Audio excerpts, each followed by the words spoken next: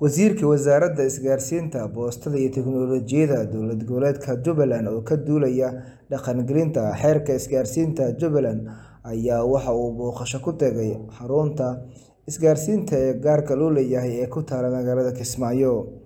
Booqashada wafdiga uu hogaaminayo Wasiirka Isgaarsiinta Dowlad Goboleedka Jubbaland Cabdirashiid Maxamed Ducaale ayaa waxa ujeedkeedu ahaa sidii loo xoojin lahaa wada shaqeynta kala dhexeysa dowlad goboleedka Jubbaland iyo xarumaha isgaarsiinta gaarka loo leeyahay waxaana uu wasiirku faahfaahin ka bixiyay booqashada ay ku tageen xarumaha isgaarsiinta gaarka loo leeyahay ee ka shaqeeya magaalada Kismaayo ee dowlad goboleedka Jubbaland. runtii sharaf bay noo tahay maanta inaan soo booqano shirkadda isgaarsiinta Somtel oo runtii ah shirkadaha bixiya adeegyada degmadan Kismaayo ka mid ah iyo guud ahaan dalkaba qaybo badan oo dalka ka mid ah. Socdaalkayga wuxuu qayb ka yahay kormeer iyo qiimeyn aan aan dambe ku sameyneynay shirkadaha isgaarsiinta ee ka howlgala degmadan Kismaayo. Waxaan horey u soo marnay shirkadaha Hormuud Amtel iyo shirkadda la yihahdo Somnet haddana waxaan joognaa shirkadda Somtel.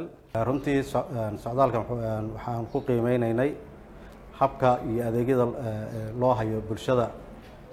Sidoo kale waxaan isdhexgal ku sameyneyn ugu sameyneynay barnaamijka private sectorka iyo dowladda in la wada shaqeeyo oo hanaan lagu wada shaqeyn kara la abuuro.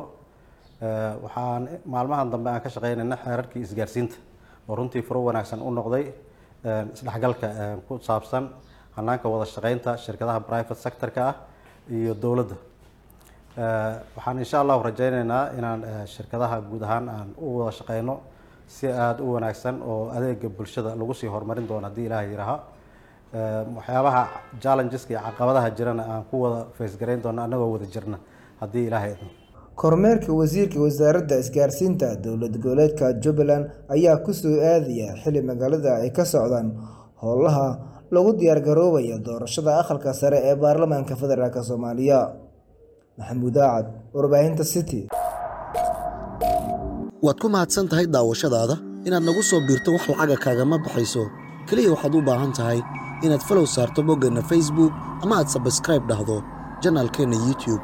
Adigoo bartilmaameedsanaya city somaali t v an rediyo la jaanqaad warbaahinteenna oo hel warar iyo barnaamijyo adiga kaa hadlaya